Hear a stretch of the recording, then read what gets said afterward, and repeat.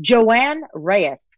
Joanne is the president of the Fulfillment Fund here in Los Angeles. And Joanne, I'd like to welcome you. Thanks for being here. Fulfillment Fund is one of Los Angeles's oldest and largest college access and college completion nonprofits. And what we do is we work with students from seven different high schools, so um, grades 9 through 12, um, all around LA to really, and most of them are going to be the first in their families to go to college. So that experience is a really important one, but is difficult to navigate. So that's why we're here to help. We are here to make sure that they have the ample knowledge and resources to successfully get into college, and for those who are serving in college to complete college. Hmm.